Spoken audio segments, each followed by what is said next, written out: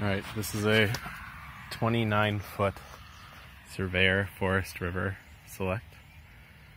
29 foot dual axle attached to a Dodge Caravan in the base model, not even with the self-leveling shocks.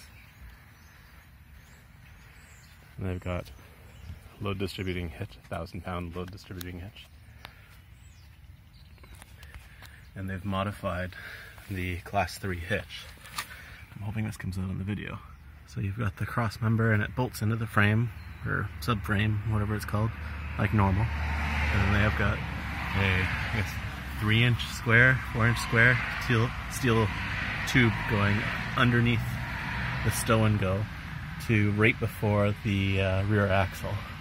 And I don't know where that bolts up to or welds onto, but uh, it definitely helps distribute the weight a little better. It's uh, pretty crazy. And the wheel gap, pretty much the same front and rear. I'll have to compare it to my own on level ground when I get home with no trailer. But uh, I just can't believe it.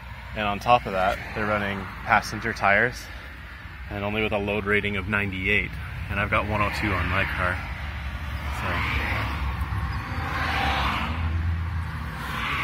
So H rated. That's crazy.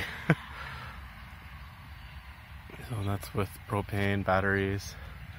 The the van itself is empty. The seats are still in there, but it's empty. Bonkers. And I'm gonna test drive this thing today. I'll let you know how it goes.